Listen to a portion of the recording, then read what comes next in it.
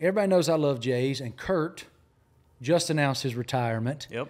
But uh, he was going to retire previously, and Michael called him. Michael and and Denny Hamlin, Michael's co-owner Yep.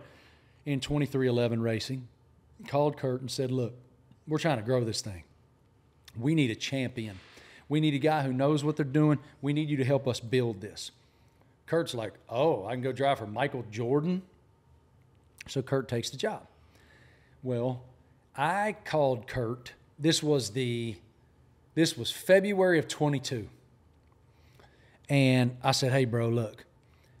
The pace car is a Toyota.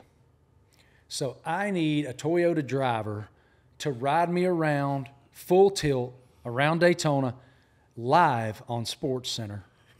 and I want you to do it." And he goes, "Hell yeah, I got you, man. we just got to figure out the logistics." So we figure out all the logistics and we get in the car. And we're going around the racetrack at uh, that that thing probably goes 140, 130, 140. It's, it was a Camry. We're going around the racetrack, and they're- they're so funny. Those guys got screws loose left and right. They're wackos, man. and he's driving one arm, you know, down, right, Yeah. down through the corner.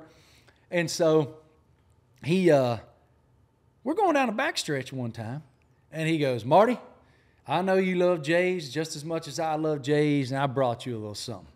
And he's going full tilt, okay, down the backstretch, and he reaches behind the seat and pulls a box out. I'm like, you gotta be kidding me, son. I got so fired up, and I opened them up, and they were the Georgetown ones, is what they were. And like, not the easiest shoe in the Yeah. world to get a crew. Yeah. I thought that was such an amazing gesture that he did that for me. And I just wore him the other day. Actually, you want to know? I interviewed him. I wore him to interview Rickie Fowler. So Hell how yeah. about that? That's All awesome, coming man. full circle. But Full circle, man. I probably have 75 pair. Yeah.